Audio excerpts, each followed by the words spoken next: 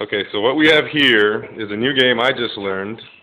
Been at Robbie's house for the last couple days in the Big D, Dallas, and there's a game called icing. Apparently you give somebody a Smirnoff Ice and they have to chug it. So Robbie was taking a piss. I put it outside of the door.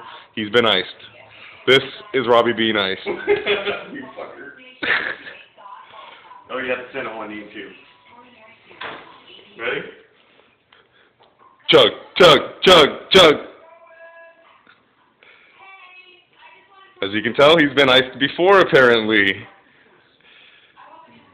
Good fucking job, man.